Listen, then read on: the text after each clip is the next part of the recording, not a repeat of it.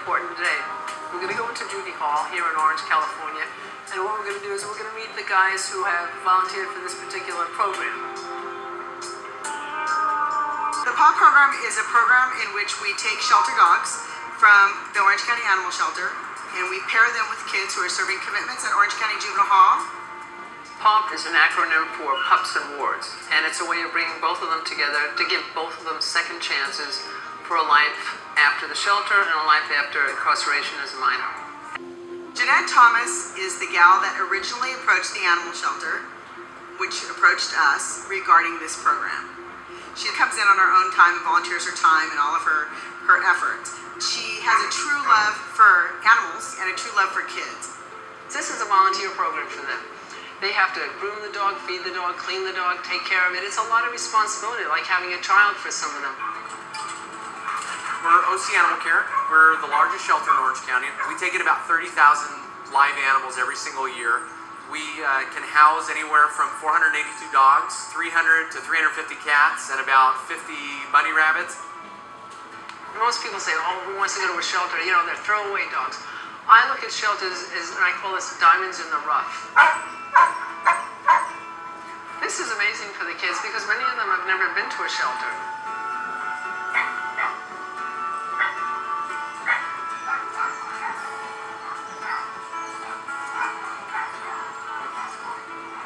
Everybody has a story. Just like the dogs, they may not have had structure, they may not have had love. They got into bad habits with drug and alcohol abuse and just got into, you know, um, gangs. Dogs run in packs, kids run in gangs. So there's so many analogies between the dogs and the kids, and it just seemed to be like a perfect blend. Hey, a little feisty. The dogs that are being selected for this program, they have a chance like so many deserve. They'll be saved. They have a second chance at a great life. And the people who adopt them will get great dogs. So it's a win all the way around for the kids, for the dogs, and the doctors. Come on, baby. These dogs want to love someone. They absolutely do. And these kids need someone to love them. This is Cooper. This is the one. Yeah. One of the things that I see that changes when the dogs arrive is that people begin to laugh. Sometimes that they might feel that because they're here at juvenile hall, they have to be, as some will say, rough and tough, and so it loosens them up, and you see this loving side. Hugger, just so you guys wouldn't know. Like people, if you treat someone with kindness, you begin to trust again.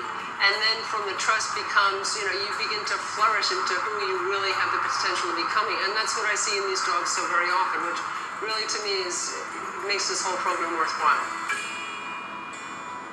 He's not paying any attention to you. Good. Give him a treat for sitting. One, two, three. Go back, give him a treat. Go back, give him a treat. Yes, excellent. Beautiful, nice job. And what we'll do is I'll give the kids like a homework sheet when we go back inside. They'll have a list of all the commands that we did today so that they can practice during the next week. I come in once a week, we review the commands that we've already learned, and then I start with another four or five commands. That was excellent. Okay, come on, guys. Nice job. People think that juvenile hall is supposed to be a punitive place where kids commit crimes, they need to come here and they need to be punished. That's not our job. We are here to rehabilitate. We are here to provide people with skills so that when they do get out, that they're not going to be uh, repeating the crimes that they committed. Great job. I'll be back next week. Have a good weekend. Bye bye, guys. It's important to bring in those, those types of programs that will really be beneficial to the kids. And at the same time, we're going to be able to help these dogs too. We've actually seen some of the wards who have come and volunteered with Janette afterwards, work with some of the dogs. It's tremendous to see uh, their growth and the knowledge that they've uh, gotten from Janette and the fact that they're using it now. There's a big one for me. His name's Jonathan.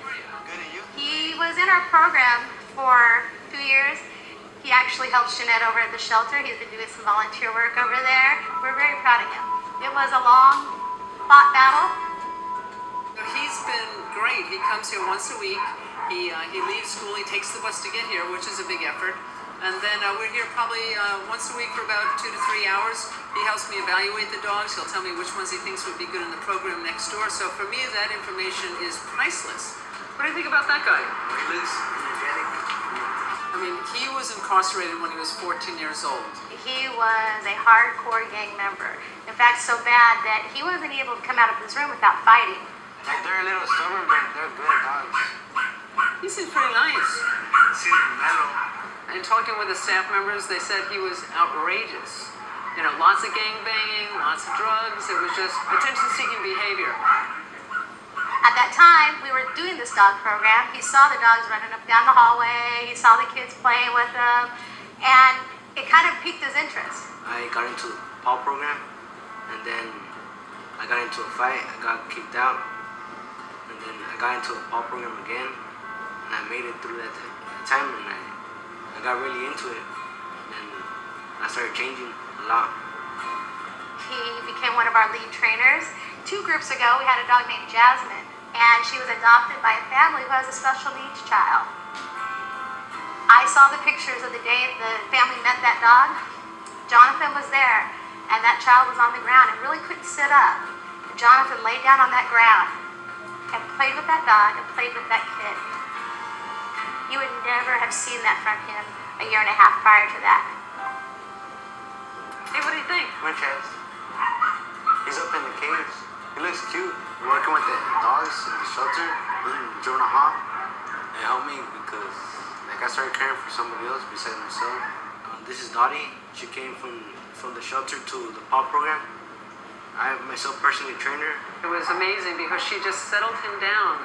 You know, took all of the bad stuff away.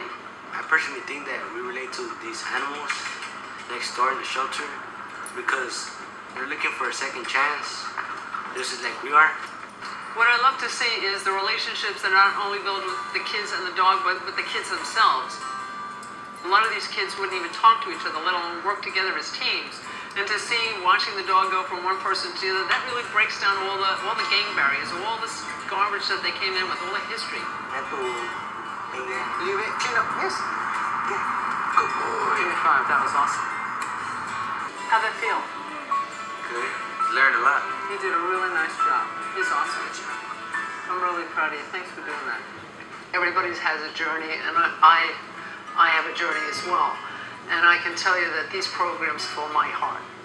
When I see kids who basically are on the road of destruction and embrace a loving animal who basically helps them change the course of their life, that's what feeds me. I do this as a volunteer because I believe in the program. I believe that it makes a difference. If we could get programs like this into other institutions and catch these young people and even adults and rehabilitate them rather than just be focused on correction, they will go out with life skills. If we can grow the programs, then we can take more dogs from shelters and get them out of there